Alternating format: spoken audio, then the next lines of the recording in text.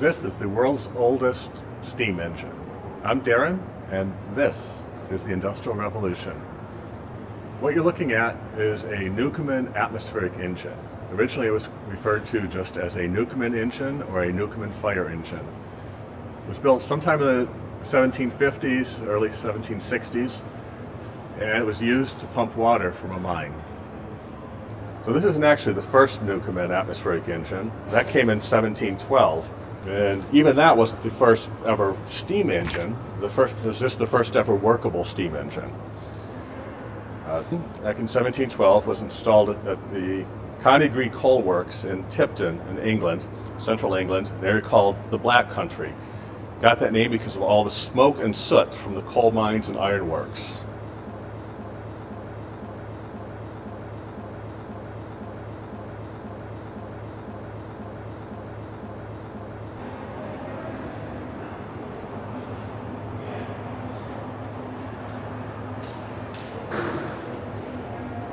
So, while not the first, this is the oldest known surviving steam engine. And like a lot of steam engines, it had a name. This one's name was Fairbottom Bob's. It was installed at the Channel Mine in the Lancashire coalfields near Ashton under Lyne in England.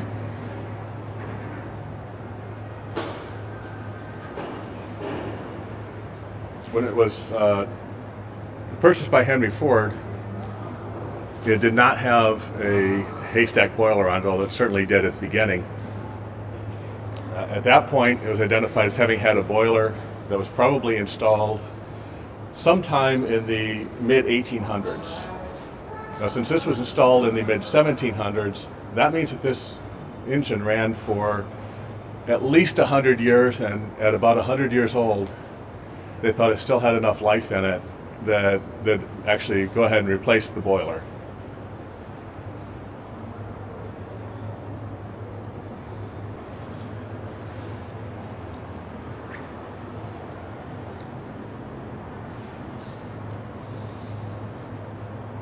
So this is the part of the Newcomen engine that actually made people buy them.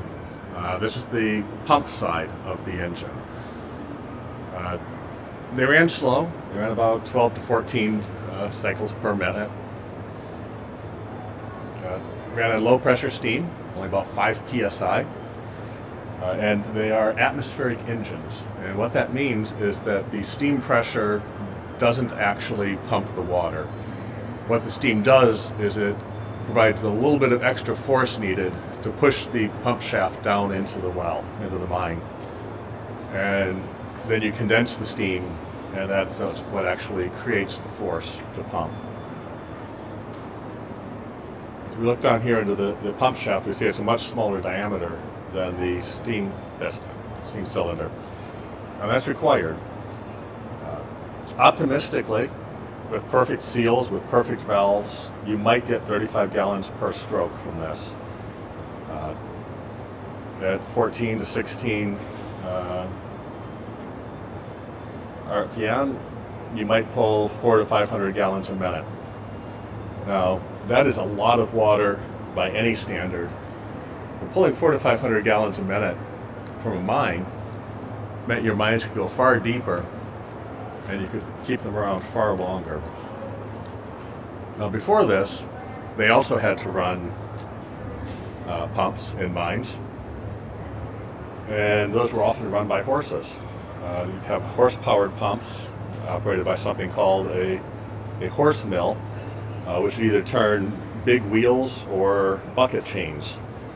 Uh, it's estimated that one of the early Newcomen engines, when it was installed, actually replaced as many as 500 horses that operated the pumps in that mine.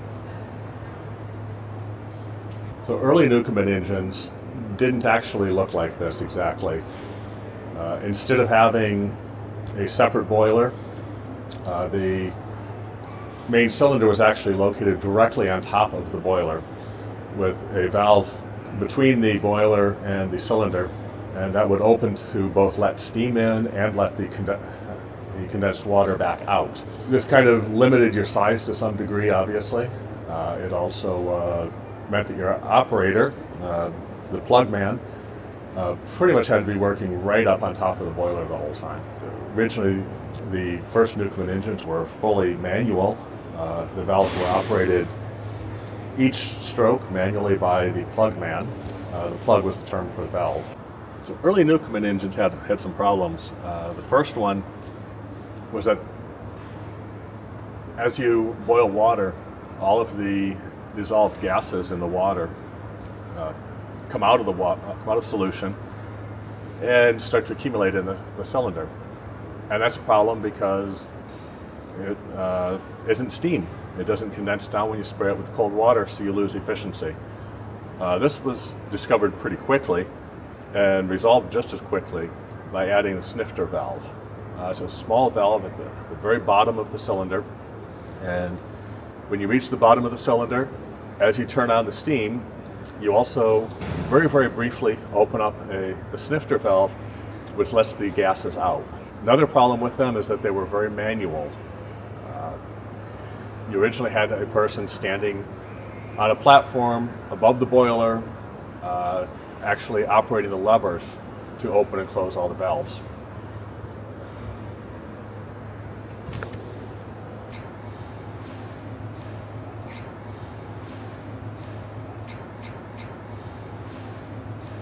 Fortunately, this part was resolved. It was resolved with this rod here. Uh, th this is called a plug tree, and it automatically open and close the valves once you got it started. It was a little bit of work to get it started. So once the plug tree was installed, operating off the same lever as the pump, at that point, you no longer had to have somebody manually standing here opening and closing every single lever every single time. Uh, you just had to get it started and then it could take care of itself. The third problem Newcomen never resolved, and that's that after you put steam into the cylinder enough times, eventually it heats up. And it heats up enough that when you spray the cold water in to condense the steam out, it doesn't. You condense it, the water touches the metal cylinder, and immediately flashes back to steam. And you lose efficiency. You have to shut it down, let things cool off some before you can restart it. Uh, that wasn't resolved until James Watt came along, and, and that's an entirely different story. So how does this thing actually work? Well, the principle is pretty simple. Uh, you put compressed steam into the bottom of the cylinder, pushing the piston up. Steam comes in at about 5 psi. Atmospheric pressure is typically a little less than 15 psi. So you're, you're adding 5 psi to the bottom, that pushes the cylinder up. Uh, when it reaches the top, you close the steam valve, you very briefly hit it with a jet of cold water inside the cylinder. Uh, that hits the steam, causes the steam to condense, that creates a partial vacuum inside the cylinder. You still have full atmospheric pressure outside, that pushes the cylinder down. Cylinder comes down hard, and that causes the pump to pump water out of the mine. All these linkages are here just to do exactly that. So right now the pump shaft is in the down position. You see the cylinder is fully expanded the pistons all the way at the top. Uh, when the pump is down, uh, that's called out of house, out of the house. Uh, well, you need to get it back in the house. So to do that, uh, you need to condense the, the pressure. That's the steam. So you condense the steam by putting the jet of water into it. That causes the piston to come down. Uh, when it comes down far enough, it's then going to trip this valve, this lever here, with that peg. Now that's at the very bottom and that causes the steam valve to open up and fill the, fill the cylinder up again with steam.